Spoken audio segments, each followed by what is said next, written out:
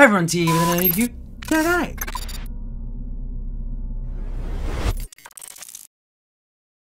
So today I'm bringing you something. I think it was asked on Twitch on one of my streams, and the question was, how do you get started? Like, how do you start a new piece and I decided to share with you three different ways that I use. Majority of the time I do this for just quick edits. Oh, I have this idea and then I want to like visualize it. For those of you that don't know, I can't really visualize in my head an image. So it's just the easiest way for me to explain it is I see the explanation of my idea, right? So there's some people that see images, I see like words. I don't see the words, but it's a black thing when just hear a thing, whatever. Anyway, uh, so I tend to need visual aid in like real life to make everything make sense. So we're gonna jump into my Photoshop. Nope, not Photoshop. Mm -mm, uh -uh, not do that. Uh, we're gonna jump into my computer now my desktop, that's what I meant to say. And I'm gonna show you three tools, because technically they are tools that I use every day to create whatever I'm creating. So if right now I'm doing Uvember, uh, I'll be I'm gonna be live on Twitch every day around 5 p.m. GMT my time zone, um, doing Uvember for the rest of November. So if you want to hang out, jump on Twitch and say hi at 5 p.m. GMT. So, first things first. This is Pinterest. I've talked about Pinterest on my, my Instagram stories before, and I still stand by it. Pinterest is one of the best tools in this industry right now to get ideas, to see if your concept is something very like used already, if you have somewhat of a, an original idea or not. Like Pinterest is it's awesome. So I have a few boards. I have like character boards, I have female characters, I have landscape references, I have ideas for uh, like one photo challenges, I have ideas for concept art here. I have like finished pieces as well. Like this board is full of like full concept art pieces. And this is one of the ways that I've been using to get like um, references. So let's say I want to do like something with a really cool play on light. If you like, I pinned this right. This is from uh, someone. They didn't tag the person, but yeah, this is a piece from someone, right? And then if you go to the related, usually you can see like more pieces like pieces pieces like that if you can't visualize just like me being able to use pinterest as one of your sources of inspiration. Don't copy things.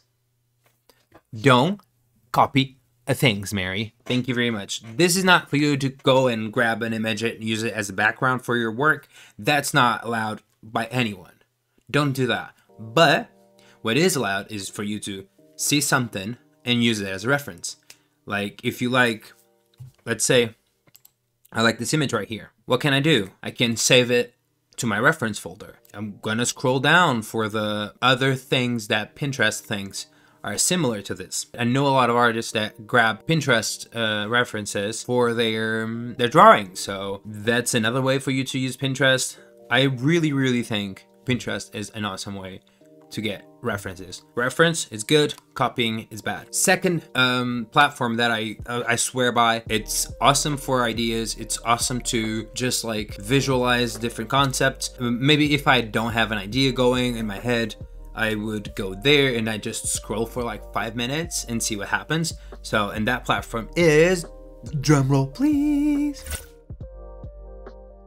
Unsplash. You've heard of Unsplash. I've talked about it before. Everybody on Instagram uses Unsplash. I have a few photos here as well. Uh, I have a few of my own photos. This is from a trip to Berlin. This is from a place in Portugal called Gerês. What I like to use Unsplash for is mostly for their own page. Why? Usually they feature good content. Either the content is a very good image, so it's a high quality image, or it tells like some type of story. This one, right here. I like this photo. What what would I do? I wouldn't just download the photo. If I'm if I'm looking for inspo, I would open the photo, go to the the photography the photographer profile, and usually people don't just upload one photo from that place. So I really like this. Let's see what else they have from that same place. Like you can see here, they have a lot of photos from that location. Now I can grab all of these photos, put them into a mood board and go from there. Diff oh wow, this is a very cool. Okay, uh, I'm gonna be doing something with this. God damn it, that's fun. This is a, another way for you to either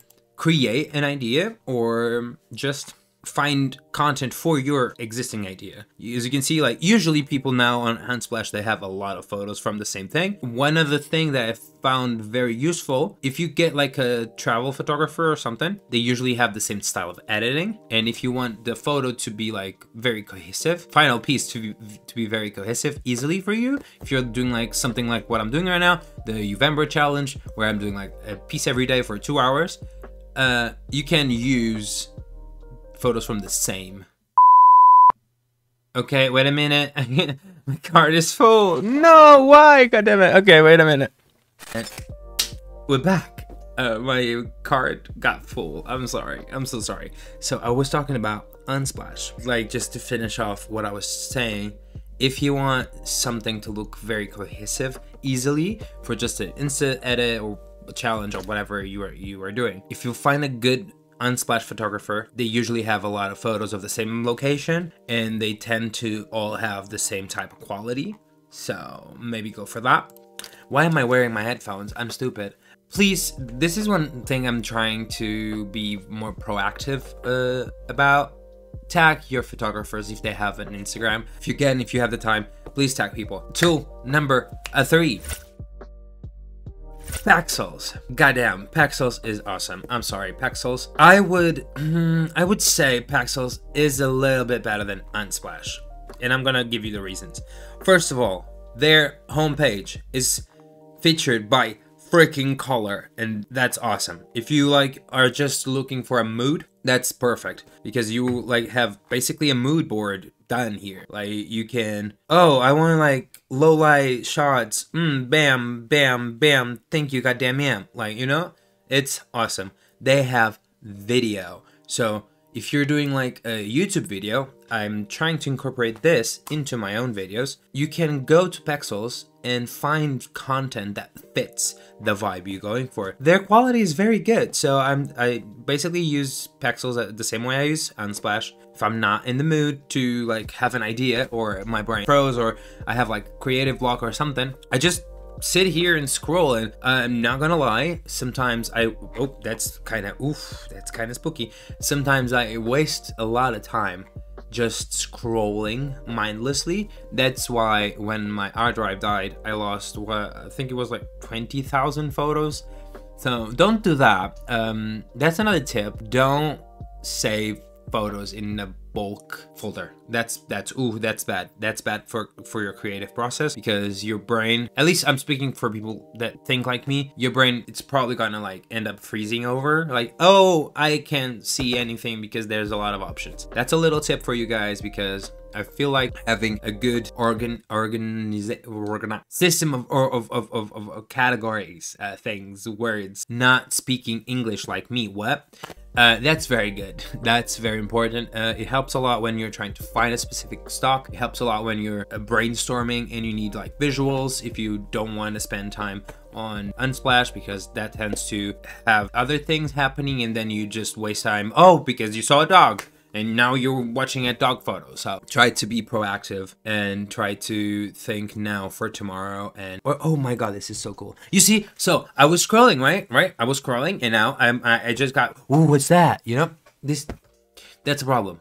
So organize your photos, tag your peoples. God damn it. Usually Pexels or Unsplash have the name of the photographer on the top of the photo name, like on a photo file. Just copy that, put it on the search bar on Unsplash, Pexels, whatever, and you'll get the user. Do that. It's not that hard. And the photographers really appreciate that. And yeah, I think those are my three main tools for like creative process. Like that's where I jump started my creatives. I'm not gonna lie, mainly from Pinterest if I'm doing um like a big project, not a like photo challenge or anything. So that's my process.